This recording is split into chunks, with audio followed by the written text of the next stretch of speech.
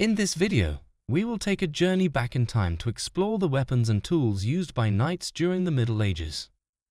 From the trusty lance to the mighty mace, and from the versatile axe to the deadly flail, we will discover the different types of weapons that were used to defend against enemies and to assert power. Get ready to learn about the evolution of medieval weapons and how they shaped the battles and skirmishes of their time.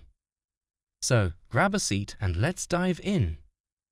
English medieval knights were equipped with various weapons for battle, including the long sword, wooden lance with an iron tip, metal-headed mace, battle axe, and dagger. These knights were trained from a young age and honed their skills through tournaments, allowing them to cause fatal injuries to even armored opponents. The sword held great significance for the knight, both as a symbol of the chivalric code and their noble status. The great sword, a heavy blade measuring one meter in length, required both hands to wield and remained largely unchanged in design from the 11th to 15th century. The sight of a knight on horseback brandishing a lance was already intimidating, but a dismounted knight swinging a sword capable of amputating with one strike was an even greater psychological weapon. During wartime, armies consisted of various types of knights who either fought in battle or performed guard duty in castles. The largest group was composed of household knights, who were permanently attached to a specific lord and rode with him into battle. Some knights were required to serve as a form of feudal service to a particular lord, while others were mercenary knights who fought for whoever was willing to pay them. There were also knights who were members of a specific order, such as the Templar Knights or Knight Hospitallers. A knight's arsenal of weapons was largely determined by the wealth of their lord or themselves, but this difference was often manifested in the decorative and material elements of the weapons rather than the number or quality of them. Despite these differences, certain weapons were commonly used by most knights on the medieval battlefield. The level of proficiency in weapon use among knights must have varied greatly between professional knights and those serving a fixed term. Noble males would typically receive weapons training from the age of 10, and by 14, they would become squires or trainee knights. They practiced with various training devices, such as the quintain, which consisted of a rotating arm with a shield on one end and a weight on the other, requiring the knight to hit the shield while riding by to avoid being hit by the swinging weight. Another device was a suspended ring that the knight had to catch and remove with the tip of their lance. Knights also trained by riding a horse at full gallop and cutting at a pell or wooden post with their sword. Although they were trained to use a bow and possibly a crossbow, they did not typically use these weapons on the battlefield, as they were deployed as part of a cavalry unit. Once a squire was fully trained, usually between the ages of 18 and 21, they could be knighted by their lord.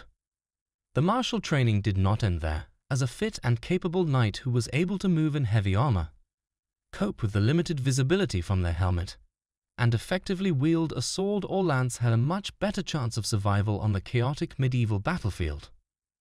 If a knight was dismounted or disarmed, they needed to be proficient with other weapons, such as an axe, mace, or, as a last resort, a dagger. The sword held immense symbolic significance for a medieval knight. It was the weapon that was used to bestow their status as a knight during their initiation ceremony, and it was typically blessed by a priest. The design of the blade and handle was even used as a crucifix for prayer. Despite its romantic symbolism, swords made of iron and steel were deadly weapons. They were long, heavy, and sharp, capable of easily severing limbs with a single blow. Until the late 10th century, sword blades were generally lighter and shorter compared to those from the 11th century onwards. The design of the sword remained largely unchanged, with only slight variations in blade length over time. By the 13th century, the blade had shortened slightly, but by the following century it had increased in length once again. However, despite these slight changes, individual knights were free to choose the weapon that best suited them.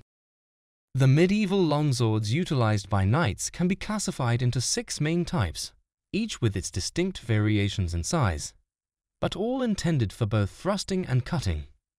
First, double-edged and tapering to a point with a channel down the center on both sides, making it lighter. These longswords were referred to as great swords or swords of war and were be swung using both hands on the grip. Second, double-edged with a more pronounced taper and a channel running only three-quarters of the blade length. This was the most widely used longsword up until the late 13th century. Third, a longer and wider blade that slightly widened towards the handle and had a channel running down about half the blade. The blade measured around 1 meter 40 inches, and the grip averaged 15 to 23 centimeters, 6 to 9 inches. Known as the hand and a half swords or bastards, they were in use from around 1240 CE. Fourth, a short, wide-bladed sword primarily used for slashing but still with a tapering point and a channel running halfway down the blade. Fifth, a blade with a flattened diamond cross-section, pronounced taper and point. Used from around 1280 CE, it had only a short 16 cm 4 inch grip and was designed to penetrate plate armor. These thrusting swords often had no sharpened edge near the hilt for the knight to safely grasp and increase the thrust's power. Sixth, a blade with a double channel near the hilt and then a single channel or with a raised rib, used in the 15th century. These types were produced in mainland Europe, where cities like Milan and Cologne gained a reputation for quality. Another continental innovation, the finger ring in the handle for the forefinger, was introduced and spread to England, providing a better grip. The hilts of swords were diverse, with the flat disc shape being the most common. These pommels could be simple, have a raised center, or even feature petals. Before the 13th century, other pommel styles included diamonds, spheres, and the cocked hat typically seen on Viking swords. By the 14th century, the scent stopper design became popular, featuring a bulbous decorative element. The crossguards, used to protect the hand, were usually plain and sometimes curved slightly away from the handle. The handle was covered by wrapping two pieces of wood, bone, or horn around the metal tang and securing them with leather or silk cords. In the 14th century, a single piece of grip material was bored with a hole and slotted over the tang. Medieval knights sometimes added a touch of glamour to their swords by using gold or silver wire on the handle. The sword was typically stored in a leather and wooden scabbard that might have iron fittings at the top and bottom. Some swords had a small leather flap chap attached to the handle to prevent rainwater from entering the scabbard and rusting the blade. Carrying the long sword required a complex system of straps and belt, so as to prevent tripping and yet allow for quick drawing. By the 15th century, the fully diagonal sword belt was common, and this was another opportunity for knights to add some shine to their attire with metal eyelets and bars. Alternatives to the long straight blade were the falchion which had a short but wide curved blade, and sometimes one edge curved, and the other straight with a cutting edge on the outer side. These fearsome weapons, seen from the 13th century, were specially weighted with a thicker blade near the tip, making them effective at chopping off limbs. Most mites also carried a dagger, which was a smaller version of the longsword, but only had one sharpened edge. By the 15th century, the two most popular types were the rondel dagger with two circles at either end of the handle and the ballock dagger with two swellings between the handle and blade, both having long tapering blades. Medieval knights were known for riding horses and using the lance as a weapon to strike down opponents. Knights trained extensively in jousting and tournaments, which honed their skills for survival on the battlefield. To be successful, Knights needed to have the ability to guide their horse with one hand while holding a lance and a shield, maintain balance in the saddle, aim at a moving target, and stay on their horse in the case of being hit. Lances, which were typically made of ash or cypress and ranged from 8 to 10 feet in length, had a steel tip attached to the shaft. In the 14th century, a vamplate was added to protect the hand holding the lance. The lance became thinner near the grip in the 15th century, and a leather strap was sometimes worn around the upper arm to prevent the lance from sliding backwards when striking an opponent. By the end of the 14th century, knights wore a lance rest as part of their breast armor to improve the stability of the weapon. As armor technology advanced and became more difficult to cut with a sword, maces gained popularity. The mace's handle was made of wood and the head, initially made of copper alloy, had protrusions in the form of rounded bumps or flanges.